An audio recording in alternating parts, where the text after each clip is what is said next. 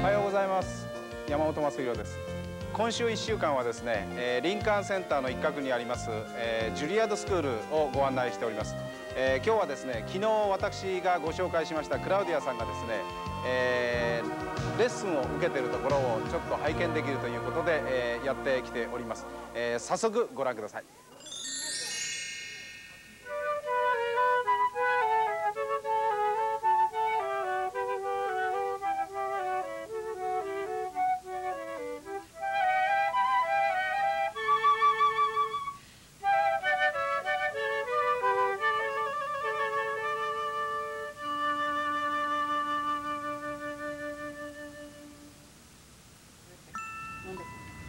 それではちょっと、えー、レッスンしてる最中なんですけども先生にお話を伺ってみたいと思います。それではご紹介いたします、えー、先生はですね、えー、ニューヨークフィルハーモニーもうあのニューヨークフィルハーモニーの首席フルーティスト、えー、フルート奏者でいらっしゃいますバックストレッサー先生です。どうぞよろしく、えー、まず、えー、今私聞いててですねとても本当に美しいハーモニーだったんですけども今日はあの彼女にですね何を指摘されました？何をあの注意っていうか教えられました？When you're teaching at a wonderful school like this, where you have students that are probably the best in the country, if not the world, um, it's very exciting to teach because they are at such a high level that you can work with wonderful musical ideas. And we were talking here about uh, changing our sound, making contrast in our sound, louder, softer, more vibrato, less vibrato, things that would make our performance more interesting to the listener. And as a teacher here, you're always working to make sure that your student, as a performer, has a very attractive sound to their audience. えー、音をソフトにって彼女に指示をした途端もう一回やり直したら突然前の演奏よりふっとこうね音がこう柔らかくなるっていうんでねびっくりしました今聞いててつまり僕はやっぱり音楽を通してコミュニケーションする Yes, it's a wonderful language, and it's a universal language, language of the world. 僕は英語は喋れませんけども、我々三人音楽を愛してるんで同じだと思います。Always. えー、ニューヨークフィルのですね首席フルーティストでいらっしゃりながらですねなぜこのジュリアードで、えー、若い方々にそのフルートをあの教えてらっしゃるのかその辺をちょっと伺いたいんです。I think in this profession, if you have the great privilege of being able to play in a great orchestra, then you have an obligation to teach your craft to young people such as Claudia so that they can follow in your footsteps.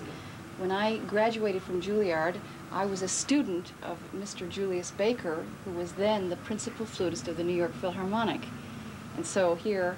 18 years later, I'm in his chair in the New York Philharmonic, and I'm teaching another student that might follow me in the New York Philharmonic in 15 years. So it's an obligation and one that we do with great love for uh, of music and also for the young people who love music as we do. でそのクラウディアさん若いクラウディアさんに何を伝えたいと思います Well, I think at Claudia's level, which is such a high level, um, it's important to work, I think, with two basic things. One is your ability as a flutist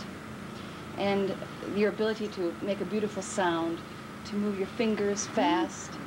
to do the right things with your lips when you create the sound. But then another area is how to become um, a musician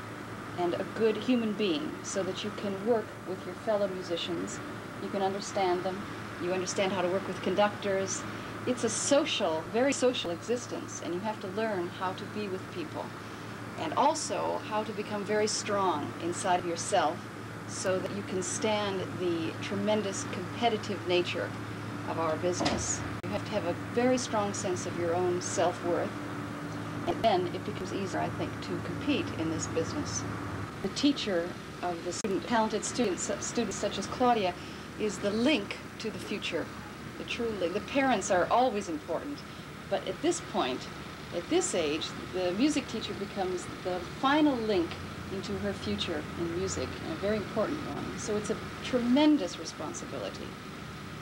僕はあの音楽っていうのは自由の表現だと思うんです人間の心の自由な表現ただし自由だから言って言って何でもやっていいもんじゃない今二重奏やってくださったように気持ちを合わせる あのヒューマンビューイングって言いましたしあのやっぱり社会的に通用する人間音楽で音楽家である前にあの素晴らしい人間でなきゃいけないっていうことをつまり先生は生徒に教えようと思ってたと今の僕は話して理解したんですけどもつまり音楽が自由の表現であるとしたら人とうまく協調しながらその自分の自由を表現するそれがこのジュリアードの考え方じゃないかなって思うんですけどもどうでしょうか？Yes, it's, it's a very special school. Um, when I was a, a young flute player, just a little girl, my dream was to come to Juilliard. And um, I still feel great pride in the fact that I'm a graduate of the Juilliard School because it symbolizes to musicians the best, the very best in, in music, education. And you have in the school, under these, these, in these walls and under this roof, you know, the greatest musicians in the world teaching and playing. And the atmosphere is, is very exciting because of that. それじゃあですねあの教えられてる生徒さんの、えークラウディアさんに一つだけあの聞いてみたいと思いますなぜあのバックストレッサー先生に、えーフルートを習いたいと思われ思われたかどうか Oh, what a terrible question, but I'm here. oh my goodness. Oh. Oh. well, um, I've had many teachers of the flute, and some teachers are very excellent players and find it hard to, to communicate um, the things that they do so well on the flute as she does. She finds it very easy to, or maybe it's difficult for her, but she's wonderful at, at being able to do something beautifully, but also able to communicate it to us. Um, how to do it ourselves so that we can emulate the way that she plays. えそれではどうもありがとうございました。あのレッスンお邪魔しました。どうぞレッスンお続けください。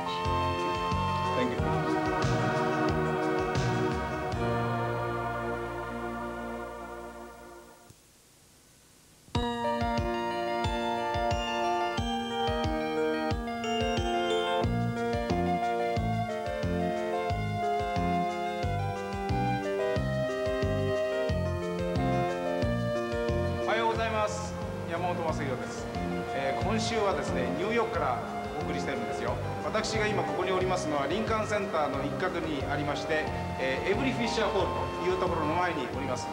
えー実はですねここはニューヨークフィルハーモニーのですね本拠地なんですがなぜエブリフィッシャーホールと名前がついたかと言いますと、えーこのホール音響がかなり悪かったそうなんですね。で改良に改良に重ねてなおかつ悪くてこのエブリフィッシャーさんっていうのが、まあ、大米をはたいて寄付されてそれで、まあえー音響学の権威に直していただいて、まあ、ホールが改良されたと。その彼の名前を取ってエブリフィッシャーホールと。そういうふうに名前がついたそうなんです。このすぐ横には、えーメトロポリタンオペラハウスがあります、えー今日はですねそのニューヨークフィルハーモニーの練習風景、えー見れるんですね。今ちょうど練習行われてるそうなんです、えーそれをちょっと覗いてみたいと思うんで中へ入ってみます。